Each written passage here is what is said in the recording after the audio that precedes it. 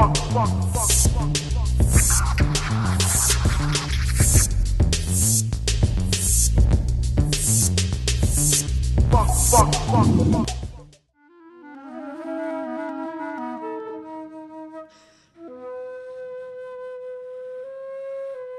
mi nombre es Laura Cubides, yo soy eh, flautista. eh, digamos que ahora me voy a poner también el gestor al lado. Eh, básicamente yo toco con ensamble CG y me dedico a gestar otras actividades de música contemporánea en Bogotá. Yo soy Rodolfo Acosta, soy fundamentalmente compositor, pero digamos que también trabajo como, digamos, como intérprete, como improvisador. Eh, fundé el ensamble CG hace muchos años, lentamente desde el año 95 se fue consolidando y se fue transformando eh, y casi sin, sin proponérnoslo, pues han pasado veintitantos años.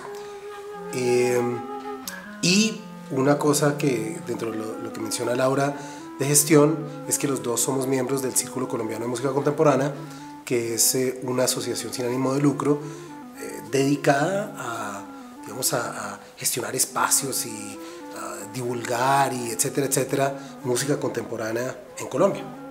Cuando hablamos acerca de música contemporánea nos referimos a un estado actual de la, la música, de digamos, la tradición académica occidental.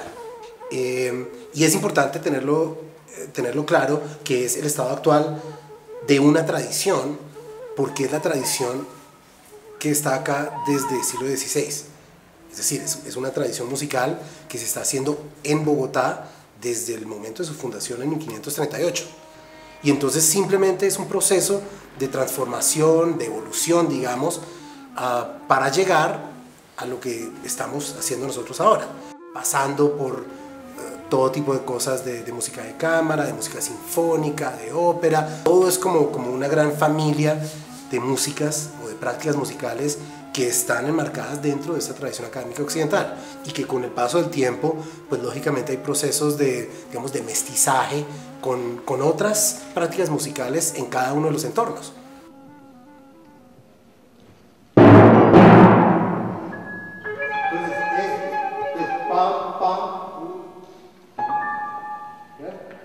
es eh, un ensamble interesado en hacer música contemporánea y digamos que con cierto énfasis en repertorio en primera instancia colombiano y en segunda instancia latinoamericano. Y la razón es muy sencilla y es que cuando comenzamos pocas personas estaban haciendo música contemporánea y música experimental en nuestro medio y sentíamos la necesidad de que pues de que sonara esta música.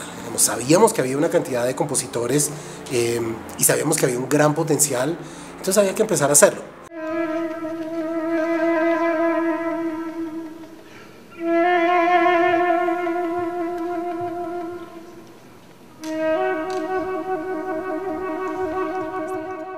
Bueno, uno, uno como instrumentista, y especialmente instrumentista de orquesta, viene de una tradición anquilosada en una cantidad de um, protocolos eh, que, que, que, se entienden como aceptables, eh, protocolos en la relación con el público, eh, no solo en conciertos, sino también en ensayo y con la música en general.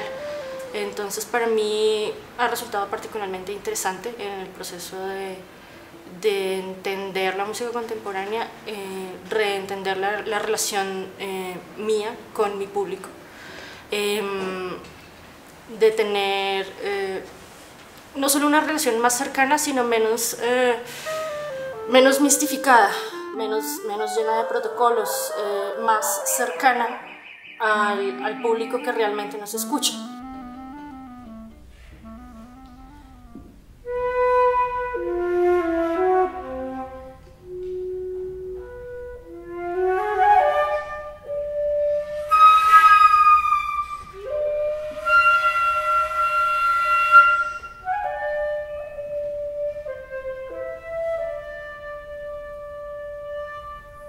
Nosotros podemos orgullosamente decir que mmm, no solo damos la bienvenida a todo el público que quiere venir, de todas las edades y de todas las formaciones, sino que nos empeñamos casi obstinadamente en que, es posible para todo el público y para todas las, todas las edades y todas las formaciones de público eh, oír y disfrutar la música contemporánea. Siento que esa es la, nueva relación con el público que, tenemos, una, una, que no está llena de barreras y que, que incita a la curiosidad y, y, esa es la reacción que hemos obtenido, una cantidad de curiosidad por muchísimas cosas diferentes todo el tiempo.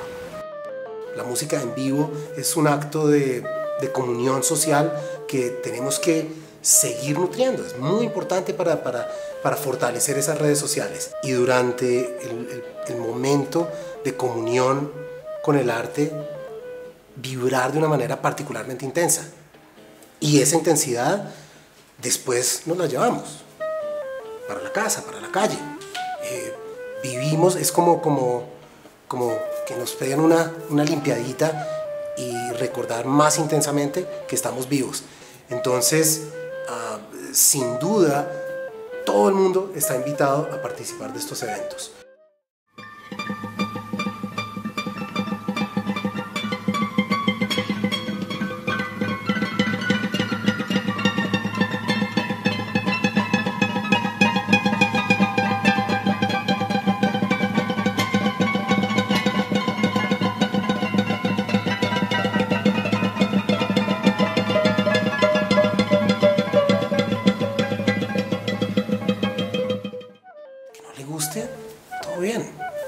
Decir, no, no es pop, no, está, no se supone que está diseñado para que a todo el mundo más o menos, o, por, o que a nadie le choque. No, está diseñado para, no sé, para, que no, para divertirnos todos y para sentir vivencias reales. Y si a alguien no le gusta, está en todo su derecho de, de no volver. Perfecto, no es, no es problema.